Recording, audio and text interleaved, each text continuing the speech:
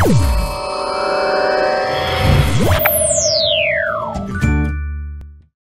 ူကြီးမင်းတို့အားလုံးအတွက်လိုအပ်ပြီးအကျိုးရှိစေမယ့် 5B လို့အတူကောက်ခေါ်တဲ့အရေးသွေးမြင်မျက်စိကုသဆောက်ရှောက်မှုအကြောင်းကို ISET ရဲ့ Center Manager ဒေါက်တာပပအောင်ကနေရှင်းပြပေးထားတဲ့ဗီဒီယိုကိုတင်ဆက်ပေးလိုက်ပါရရှင်။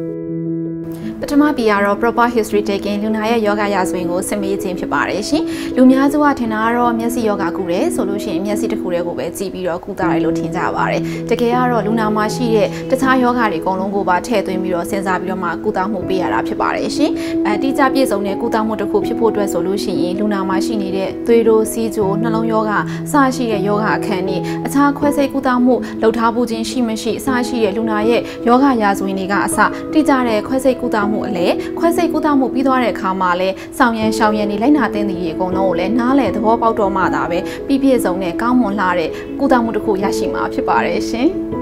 ဒုတိယ P ကတော့ proper examination လူနာရဲ့ယောဂလက္ခဏာကိုစစ်ဆေးခြင်းပဲဖြစ်ပါတယ်ရှင်လူနာရဲ့ယောဂလက္ခဏာတွေကိုစစ်ဆေးတဲ့အခါမှာအဓိကအကြဆုံးကတိကျသေးကြခြင်းဖြစ်ပါတယ်ရှင်ဒါမှသာတိကျတဲ့ယောဂနာမည်ကိုတက်နိုင်ပြီးတော့ကုသမှုကိုအမြဲဆုံးခံယူနိုင်မှာဖြစ်ပြီးတော့ယောဂပျောက်ကင်းမှာဖြစ်ပါတယ်ရှင်ကျမတို့ ISET မှာရှိတဲ့မျက်စိဆရာဝန်ကြီးများဟာနိုင်ငံတကာကနေပြီးတော့ပွဲလွန်တွေကိုယူထားတဲ့အတွေ့အကြုံများတဲ့မျက်စိဆရာဝန်ကြီးများပဲဖြစ်ပါတယ်ရှင်ဒါအပြင် ISET မှာ USA ဂျာမနီကနေပြီးတော့ထုတ်လုပ်ထားတဲ့စက်သစ်ကြီးများနဲ့စစ်ဆေးပေးတာဖြစ်တဲ့အတွက်ကြောင့်မလို့တိကျမှန်ကန်တဲ့အဖြေတွေကိုရရှိမှာဖြစ်ပါတယ်ရှင်။တတိယ P ကတော့ proper explanation communication နဲ့ consultation ပဲဖြစ်ပါတယ်ရှင်။ ISET မှာဆရာဝန်နဲ့ဆွေးနွေးတဲ့အခါမှာ booking system နဲ့သွားတာဖြစ်တဲ့အတွက်ကြောင့်လူနာတယောက်ချင်းစီအတွက်လုံလောက်တဲ့ဆရာဝန်နဲ့ဆွေးနွေးချိန်ကိုရရှိအောင်လို့စီစဉ်ပေးထားပါတယ်ရှင်။ဆရာဝန်ကြီးကလည်းလူနာတွေနဲ့ရှင်းပြတဲ့အခါမှာလူနာတွေရဲ့ယောဂရာဇဝင်တွေကုသမှုပုံစံတွေဘေးထွက်ဆိုးကျိုးတွေဆောင်ရန်ရှောင်ရန်တွေအကုန်လုံးကိုရှင်းပြပေးပါတယ်ရှင်။အာလူနာဘက်ကနေပြီးတော့လည်းပြန်လည်မေးမြန်းနိုင်တဲ့အတွက်ကြောင့်မလို့ one way explanation မဟုတ်ဘဲနဲ့ two way discussion ပုံစံမျိုးရအောင်လို့အတွက်ကျမတို့ဘက်ကနေစီစဉ်ပေးထားပါတယ်ရှင်။လူနာကြည့်ရန်တွေကလည်းသိတဲ့ငန်းတွေဖြစ်တဲ့အတွက်ကြောင့်မလို့လူနာတွေအတွက်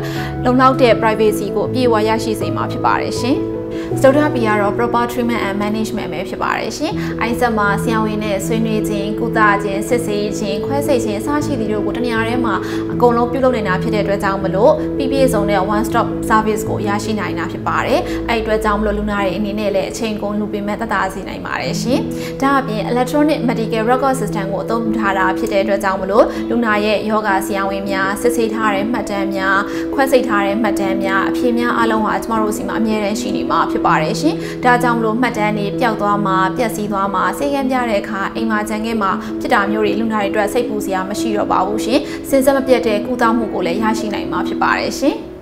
နောက်ဆုံးပြီးကတော့ proper pre and post operation care service ပဲဖြစ်ပါတယ်ရှင်။မျက်စိကုသမှုတွေမှာမျက်စိခွဲစိတ်ခြင်းကအကြီးမားဆုံးသောကုသမှုပုံစံဖြစ်ပါတယ်။လူတိုင်းကလည်းစိတ်ပူကြကြောက်ကြပါတယ်။အဲ့ဒီအတွက်ကိုကျမတို့ ISET ကနေပြီးတော့ဝန်ဆောင်မှုနှမျိုးစီစဉ်ပေးထားပါတယ်။ပထမတစ်မျိုးကတော့မခွဲစိတ်ခင်မှာခွဲစိတ်ပုံခွဲစိတ်နည်းခွဲစိတ်မဲ့ကြာချိန်မခွဲစိတ်ခင်မှာလှုပ်ဆောင်ရမယ့်အချက်တွေ ပြီးတဲ့အခါမှာယောဂခံရှိတဲ့လူနာတွေဆိုလို့ရှိရင်လည်းယောဂအတွက်ကြိုတင်စစ်ဆေးခြင်းတွေကိုကျမတို့ဘက်ကနေစီစဉ်ပေးထားတဲ့အတွက်ကြောင့်မလို့စိတ်ချရတဲ့ခွဲစိတ်မှုတစ်ခုကိုဖြစ်မြောက်စေနိုင်မှာသိကြပဲဖြစ်ပါတယ်ရှင်။နောက်တစ်ခုကတော့ခွဲစိတ်ပြီးသွားတဲ့အခါမှာဆောင်ရန်ရှောင်ရန်တွေခွဲစိတ်ထားတဲ့လူနာတွေလှုပ်ဆောင်ရမယ့်အချက်တွေအကုန်လုံးကိုကျမတို့အိုင်ဆက်မှာရှိရဲ့ကျွမ်းကျင်တဲ့သူနာပြုကနေပြီးတော့ရှင်းပြပေးမှာဖြစ်တဲ့အတွက်ကြောင့်မလို့အကောင်းဆုံးသောခွဲစိတ်မှုရလဒ်တွေကိုရရှိစေမယ်ဆိုတာကျမတို့အိုင်ဆက်ကနေပြီးတော့အာမခံပေးနိုင်ပါတယ်ရှင်။